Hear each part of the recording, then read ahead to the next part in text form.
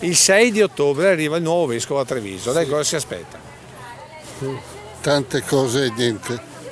Io non mi sono mai aspettata niente da nessun vescovo, mi spiace. Una volta che avevo i putei piccoli andavo anche spesso, eh, dicevo, ultimamente ho altre, altre robe da fare. Tanto lavoro da fare, quello che si prospetta per Monsignor Michele Tomasi, che il 6 ottobre entrerà in diocesi come nuovo vescovo di Treviso. È una persona seria, meno ho visto l'articolo che c'è sul giornale, Ma lei cosa si aspetta insomma che cosa faccia?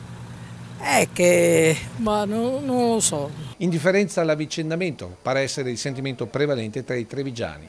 Lascia perdere. però. Niente? No, no. Non si aspetta No, perché non, non, non saprei cosa dite in merito. Non lo so, non voglio dare giudizi perché non... Eh, Neanche aspettative. Indifferenza insomma. Sì, sì. Suora, buongiorno. Nu- Nuovo vescovo di Treviso.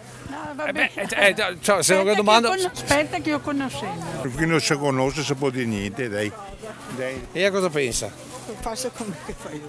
Cosa si aspetta insomma sto vescovo? Spero che si vada bene, insomma. Cosa si aspetta?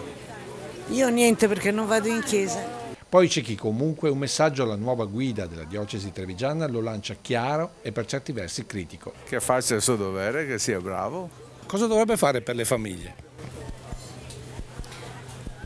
cercare di raggruppare un po' su tutte le parrocchie anche e portare un po' più i giovani in chiesa.